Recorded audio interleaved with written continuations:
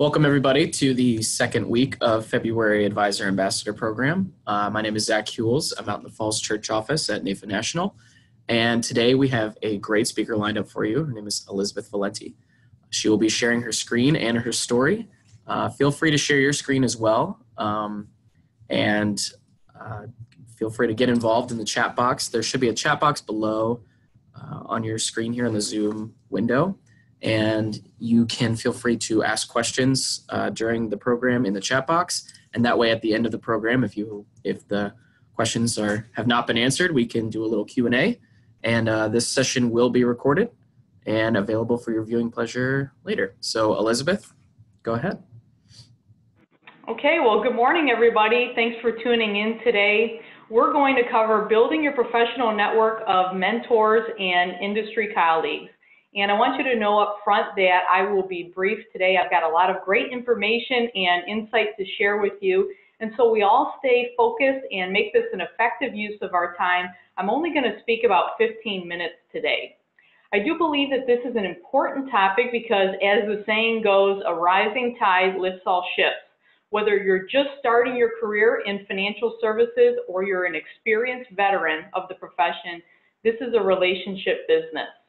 When you're new, seeking out mentors and asking their advice, guidance, and being open to their ideas and coaching is how you grow and succeed. And when you're an experienced professional, sharing your wisdom about what works and doesn't work with those new to the business can be both rewarding and fulfilling. As we get started here, a little background about me. I was born and raised in Michigan, and my dad has been in the industry for 46 years.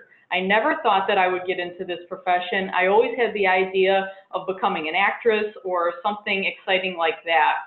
In 2006, after working in an unrelated field for about a year after college, I entered the financial services business and joined my dad's firm in Michigan. And my dad must have some pretty good persuasive skills because as you can see, not only not not only myself but my two younger brothers also are financial advisors and joined our firm. After about four and a half years working in Michigan, I decided that I would move to San Antonio, Texas to open up a detached location of our Michigan-based firm. The only problem was I did not have any personal or professional network in San Antonio and I knew zero people. So today I'm going to share with you my experience, how I built my professional network over almost the last nine years in San Antonio, essentially starting an operation from scratch. These are some wonderful organizations to get involved with that usually have various committees, events, and conferences to participate in, and I participated in all of these over the years. In 2010, when I first moved to San Antonio, I quickly joined NAIFA and started going to the luncheon events. And after a few months, I was able to get on the board. I did the same for the FPA and built some lasting relationships. The beauty about all of these organizations is that the people involved with them, they truly believe in our industry. They want to continue to elevate our profession. They want to continue to create new leaders and they truly want to help.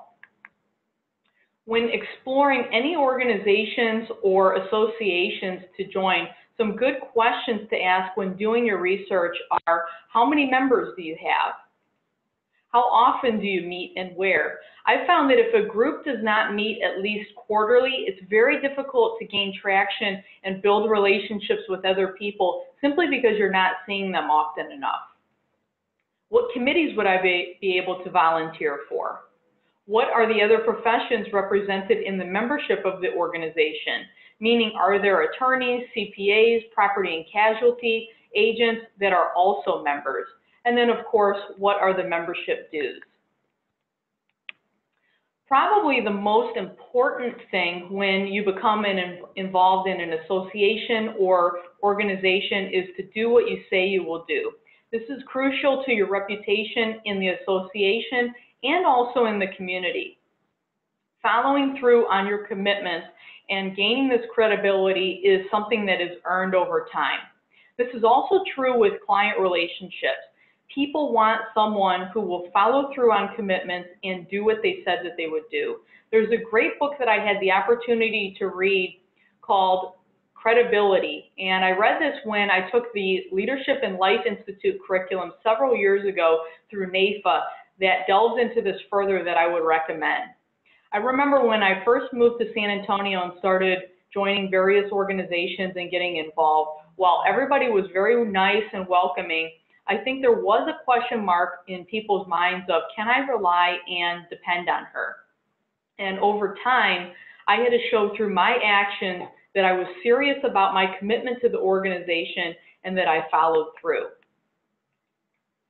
In addition to joining organizations, the conferences that the company you're affiliated with hosts and also conferences that different organizations and associations put on are usually worth the investment of your time and money to attend. Volunteering at a conference can be a great way to meet a high number of people quickly and to build your professional network of mentors, top industry colleagues, centers of influence, seek out the elite performers in our industry and ask to meet with them. You'll find that most of them are very willing to take a meeting and want to help.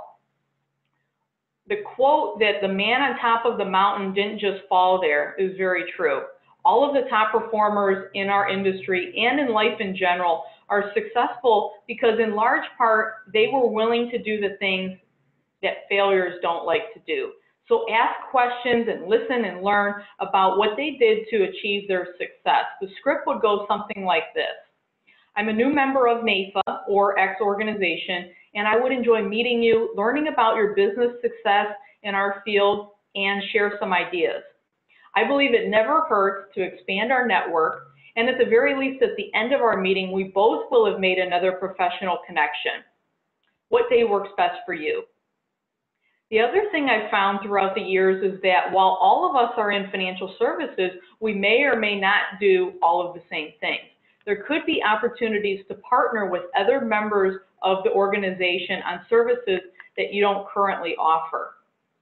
These meetings with successful, accomplished mentors will build goodwill and respect for you. And then as a result, they will become advocates for you and your business. I know I've certainly found this to be true. Good questions to ask when meeting a potential mentor or center of influence is, how did you get your start in the profession? How long have you been a member of NAIFA or X organization, and what's been your experience? What are some other organizations or charities that you're involved in? And if I ran into a good prospect for your business, how would I know it and how would you like me to introduce them to you? This is a question that I learned from Bill Cates, the referral coach, and I think it's a key question to ask also in networking and in social situations. LinkedIn can be an extremely effective tool for building your professional network. We could do a whole session just on LinkedIn.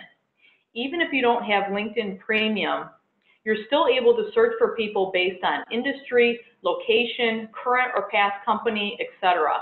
I know I've got the free version of LinkedIn and it works just fine. Here are a couple template messages that you could use when sending connection requests. Hi, Bob. I hope you're having a great week. I'd like to connect with you on LinkedIn. If you see anybody that I'm connected with that you'd like to be introduced to, I'd be happy to make that connection. Or I found that LinkedIn is a useful tool, especially when you have a good idea of what the other person does. Would you be open to getting together in the near future? An idea for building relationships with CPAs is what our firm calls Bring a Lunch to CPA Day in April. Typically, a day or two before tax day, we deliver lunch to the CPA and their staff to show them that we understand their commitment to their clients and to reward them for all of their effort. How this works is we would reach out to one or two smaller CPA firms that we want to develop a relationship with and inform them that we'd like to deliver lunch to them and their staff. We ask the CPA how many staff members will be there on the day that we want to deliver it. We also ask about any dietary restrictions or if there are vegetarians. Then we, the order is placed at some place like Subway or Panera Bread for an assortment of sandwiches, chips, and cookies. The day that we deliver lunch, which is typically a day or two before tax day, I just drop off the lunch with my business card. I don't stay more than a couple minutes, and I say to the CPA that I will follow up with him or her after tax season to get together. This is more manageable with the smaller CPA firms and is appreciated each year.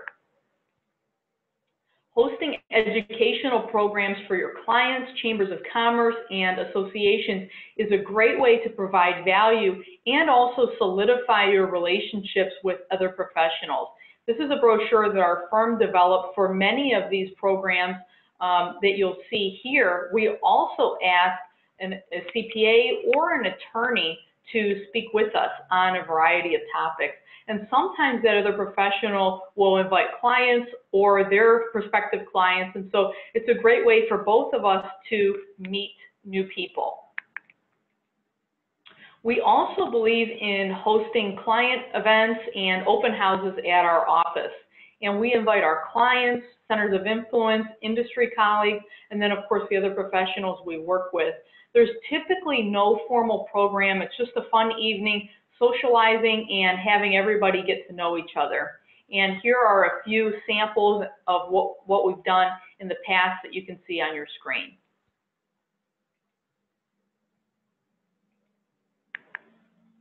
In 2013, I had the opportunity to take the Leadership in Life Institute curriculum, or LILI, through NAIFA. And this is a six-month leadership development course, and the mission of the course is to foster personal growth, enhance business practices, and then develop skills necessary for effective leadership. LILI is one of the best professional experiences that I've had in my career this far and really enjoyed it. I think the opportunity to build relationships with other seasoned professionals across the state, hear their ideas, gain the knowledge from all of the great books included will help all advisors and agents take their practice to the next level.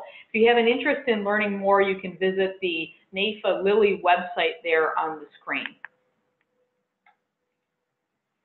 Here are four books that have made a positive difference for me as I built my team in a city where I had no initial relationships.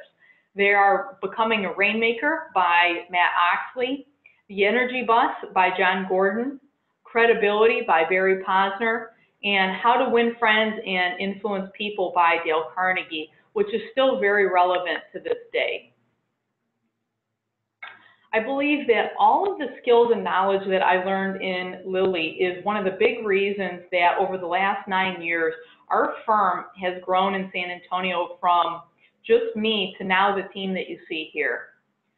Seven of the people in this picture that you see, I met through personal introductions from industry colleagues. The things I've shared with you today, I've personally done, and the growth that our firm has seen is proof that these ideas, if applied, really do work. By getting involved in organizations, in the community, building relationships, staying in touch, following through on commitments, that will lead to success.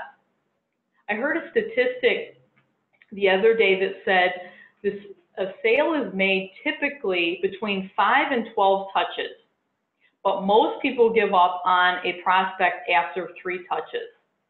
And I think building relationships with prospective clients and industry colleagues is no different. Really, to gain traction in a particular market, we found, and I found, that it takes really 12 plus months to develop those relationships. And I can tell you that when I first moved to San Antonio for the first two and a half years after moving here, I worked seven days a week, typically between 10 to 12 hours a day, getting our business launched. There really is no substitute for hard work. Um, we went from producing virtually zero revenue in 2010 to now this year we'll do about 2.3 million of GDC as a team and I get to see my dad and my brothers every day, so that's special. 100% um, of our advisors are fiduciaries, and we place an emphasis on doing comprehensive financial planning for our clients. In the next five years, we envision doubling the size of our team here in San Antonio. Having the opportunity to participate various times in the legislative day at the state level and also at the congressional conference at the national level in Washington, D.C., really has taught me what advocacy means for our livelihoods and also our clients' well-being. Don't forget that the Congressional Conference is coming up this year, May 14th and 15th in Washington, D.C. The Performance Plus Purpose Conference will be held in Orlando this year, September 11th through the 14th, so don't miss it. Really, everything we've talked about today is about paying it forward, being a resource in your community, and providing value before you receive anything back. I think this quote from Princess Diana sums it up perfectly. And with that, I hope that this has been helpful and I'm happy to answer any questions.